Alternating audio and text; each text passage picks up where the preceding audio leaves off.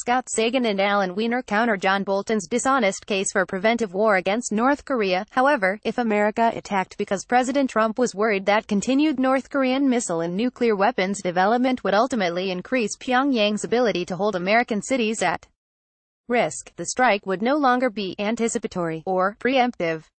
It would clearly be preventive, in legal terms, no different from a North Korean first strike against America motivated by Kim Jong-un's fear that America might one day attack North Korea. Preventive strikes are not legal under international law or the United Nations Charter.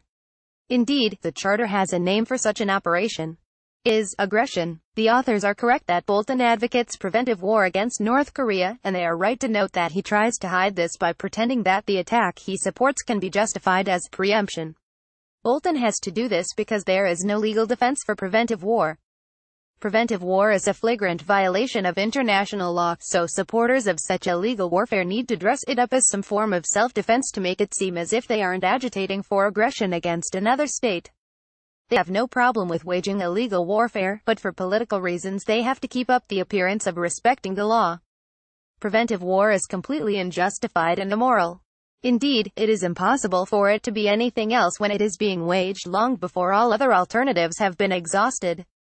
Bismarck famously said, preventive war is like committing suicide for fear of death but in this case Bolton is calling for something even stupider than that. Bolton thinks it is appropriate to initiate a war because of a fear that another state might simply acquire the means to strike you at some point in the future. This more like committing suicide for fear of one day feeling threatened by someone else.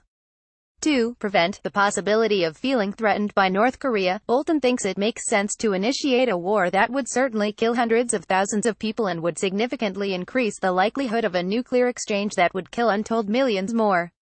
That by itself ought to have been enough to disqualify him from consideration for any position in the government, much less national security advisor.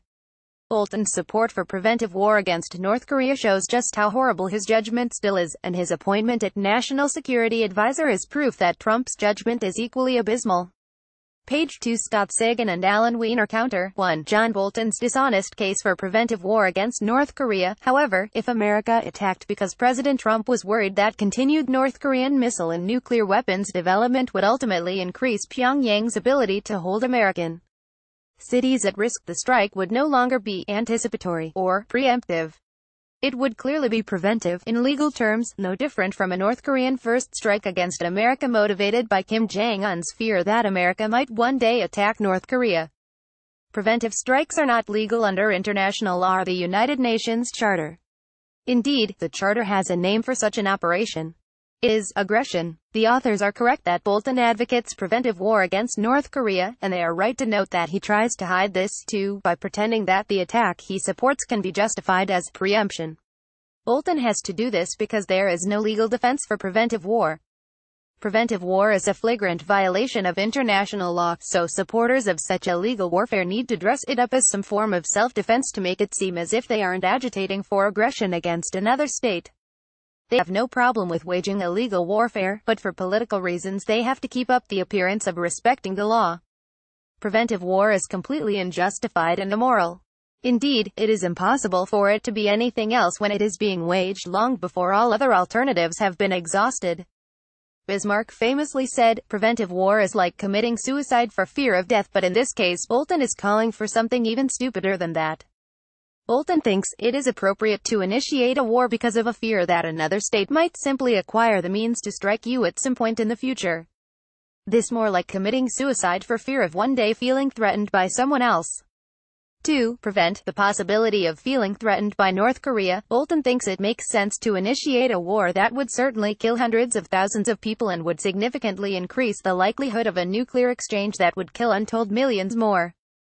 That by itself ought to have been enough to disqualify him from consideration for any position in the government, much less national security advisor.